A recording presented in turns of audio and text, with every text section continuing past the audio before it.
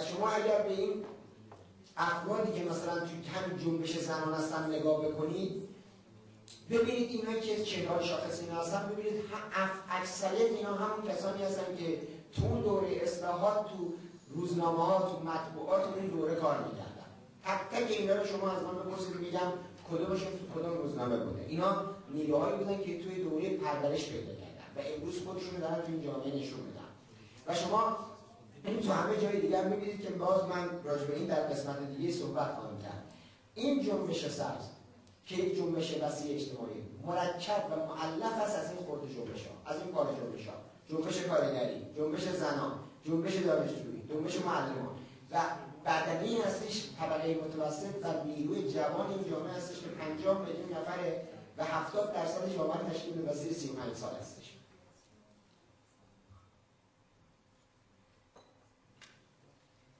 نکته بعدی که خدمتتون بگم اینه. برای اینکه دموکراسی رو بسازیم وقتی شما این نهادها این انجمنها رو ساختید و افراد قدرتمند شدن همه اینا باید زیر یک جنبش وسیع اجتماعی گرد بیان.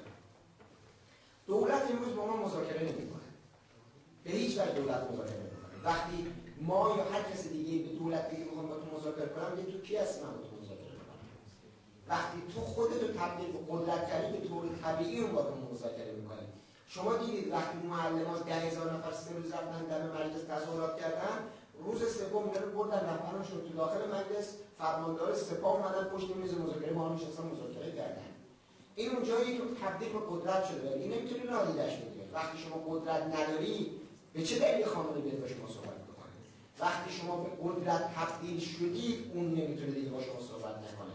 اگر دست به خواست شخص خامنه ای بود امروز اون دوست داشته که همین موسوی کرده همین الان بکشه. ولی نمی‌تونه این کار الان بکنه. نه اینکه نمی‌خواد بکنه الان نمی‌تونه بکنه. همین وضعیت فعلی رو این اجازه رو بهش نمیده. همین وضعیت فعلی که تا اینجا پیش اومده.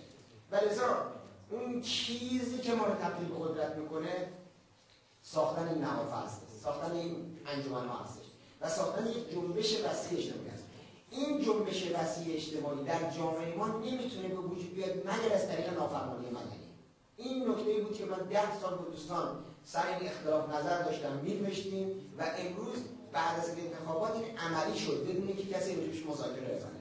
مسئله اینه که در دموکراسی ها گفته میشه که قوانین وجود داره در نظام های دموکراتیک که ناعادلانه است. قوانین وجود داره که ناحقه قوانین وجود داره که برخلاف وجدانه یک انسان در یک نظام دموکراتیک وقتی قانون ناعادلانه یا ناحق یا برخلاف وجدان تشخیص داد اونو می‌تونه در عمل نقض کنه به چنین فردی دست گل نمیدن مدال نمیدن. این فرد مجازات قانونیش می‌کنه. ولی جامعه به اون به چشم یک انسان اخلاقی نمی‌کنه این اسمش نافرمانی مدنی هیچ چیز دیگه یعنی شما می‌بینید مثلا فلان فرمانده نیرو هوایی ارتش اسرائیل میگه من سوار هواپیما نمیشم بمب بریزم سر مردم لبنان این برخلاف وجدان منه خب دولت اسرائیل اون جایزه نمیده مقابل می‌تونه زندانش می‌کنه. شما می‌بینید در مقابل نیروگاه های هسته‌ای در هم جهان غرب میرن افراد خود دور اینا حلقه بزنن یا می‌خوان روی قطار. ریلای قطار می‌خوان نظر قطارهایی که میادش مواد سمی و مواد اتمی رو هم بکنه عبور کنن. خب این افراد میاد پلیس دستگیر می‌کنه ولی زندانشون می‌کنه درست بهشون جایزه بدن ولی جامعه به اینها به چشم انسانهای اخلاقی نگاه می‌کنه. یا شما فرض کنید انجمنهای حمایت از حیوانات. اینا میرن در این انستیتوهایی که مثلا روی موشها روی خرگوشها روی حیوانات آزمایش‌هایی می‌کنن که بعدا از این استفاده کنن برای بیماری های انسانی. میرن اعتراض کنن شما چرخ می‌دونید این کار می‌کنید مانع کار اونا میشن این میشه نافرمانی منه حالا این وضعیت نظام های دموکراتیکه. طبعا در یک کشور شبیه کشور ما که نظامش غیر دموکراتیکه در این جامعه حجم قوانین غیر دموکراتیک ناحق ناعادلانه برخلاف وجدان صدها و صدها برابر نظام های دموکراتیک است. لذا ما برای گام برداشتن راهی جز نافرمانی نداریم. اگر کسی بگه در ایران می‌خواد مبارزه قانونی بکنه یعنی باید برید خونه بگیره بخوابه. هیچ معنی دیگه نداره در چون این دولت به طور قانونی به شما اجازه هیچ کاری نمیده.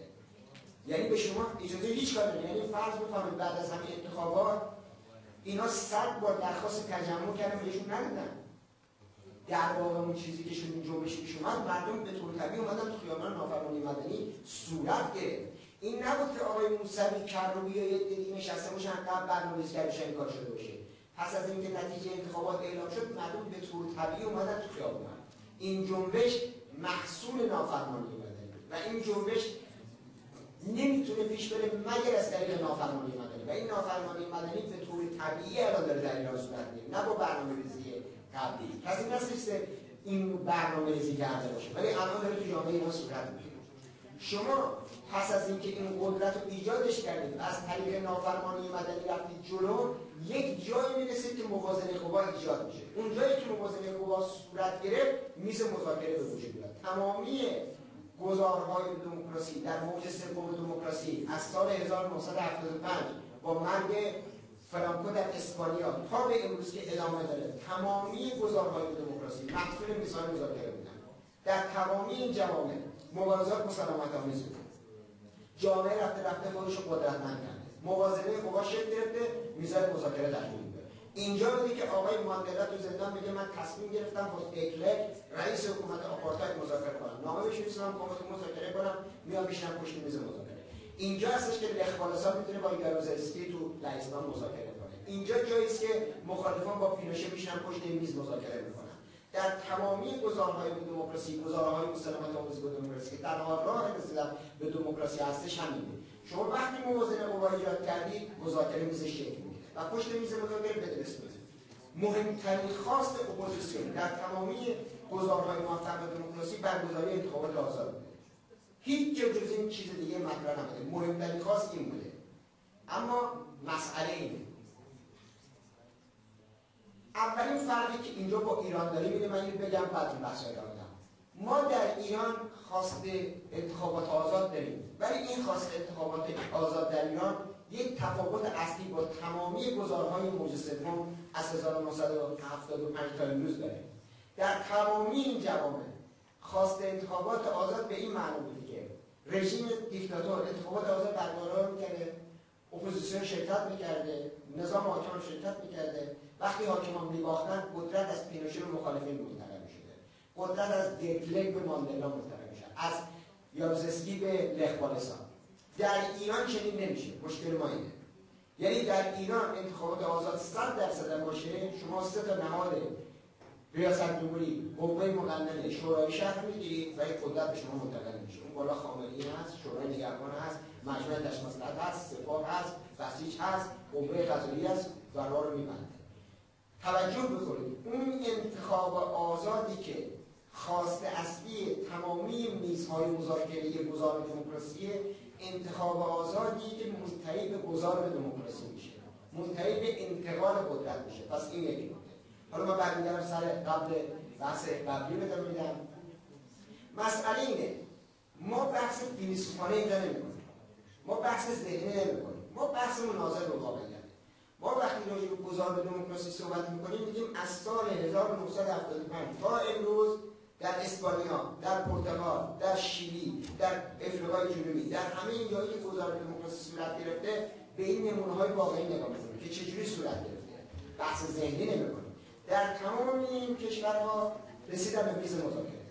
پشت میز مذاکره این نبودش که آقای پینوشه فردا تو بی انتخابات آزاد برگزار کن. ما پیروز شدیم فردا تو و تمام این سران رژیمتون می‌گیریم تیربارونتون اصلا چه این چیزی نیست. به چه دلیل این کار بکنه اون بحث فروپاشی که ما اول نقدش داریم یکی دیگه از نقداش اینه. شما وقتی میرید دنبال خواست انقلاب فروپاشی سرنگونی برای نیروهای سرکوبگر اون رژیم مسئله می‌کنید مسئله مرگ و حیات. وقتی من می‌بینم که اگر این تو این کشور تحول بشه اولین کسی که تحقیقات کرد من چی بارو بشم به چه دلیل کوتاه چون خواستی اصلا برای اون معقول نیسته لذا در جنبش های دموکراسی خواهی هیچ جا اونجا که گذار دموکراسی صورت گرفته برای نیروهای مسلح کشور برای نیروهای سرکوبگر کشور مسئله به مسئله مرگ و زندگی تبدیل نکردن. با پینوشه میشستن مذاکره می‌کردن با دکلک میشستن مذاکره می‌کردن و توی این مذاکرات گفتن تو انتخابات آزاد برگزار کن و شما هم تو شرکت کنید. یعنی طبقه حاکم طبقه حاکمه رو محروم نمی‌کردن.